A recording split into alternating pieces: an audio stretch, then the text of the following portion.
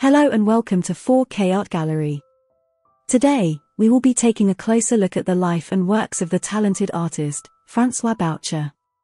Born in 1703, Boucher grew up during a time of artistic flourishing and cultural change in 18th century France. As a young man, he trained under the famous painter Francois Lemoyne, and this early mentorship played a significant role in shaping Boucher's artistic style. Throughout his career, Boucher found inspiration in various aspects of his own life experiences. Whether it was his love for nature and landscapes, his fascination with mythology and history, or his interest in capturing everyday domestic scenes, each of his works tells a unique story. One of his notable works, Landscape with Palatino Hill, View from Campo Vaccino from 1734, showcases his ability to depict the beauty of nature. The serene landscape transports the viewer to an idyllic setting, inviting them to escape the hustle and bustle of everyday life. In Rinaldo and Armida from 1737, Boucher explores the world of mythology. The painting captures a scene from Tasso's epic poem, depicting the forbidden love between the knight Rinaldo and the sorceress Armida. Boucher's use of vibrant colors and delicate brushstrokes brings the story to life, allowing us to immerse ourselves in this tale of passion and desire. Another notable work is Joseph introduces his father and his brothers to Pharaoh from 1723. Here, Boucher delves into biblical themes, conveying the emotional reunion between Joseph and his family.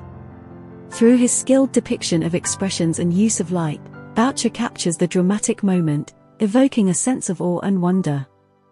Boucher's love for pastoral scenes is also evident in works such as Pastoral Scene from the 1730s and Pastoral from 1730. These paintings depict the joys and simplicity of rural life, showcasing the beauty of the countryside and its inhabitants. Furthermore, Boucher's exploration of mythology is seen in Hercules and Omphale from 1735. The painting depicts the Greek hero Hercules and the Queen Omphale, highlighting themes of power, vulnerability, and the dynamics of gender roles.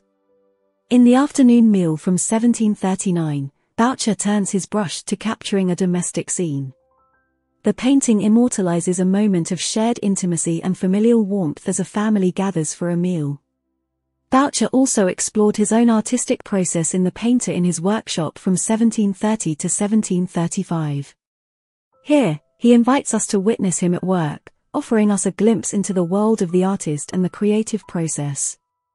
Lastly, in works like Derbais Apartment Aurora and Cephalus from 1733 and Derbais Apartment Venus asking Vulcan for arms for Aeneas from 1732, Boucher portrays scenes of mythological significance, capturing the beauty and drama of these tales.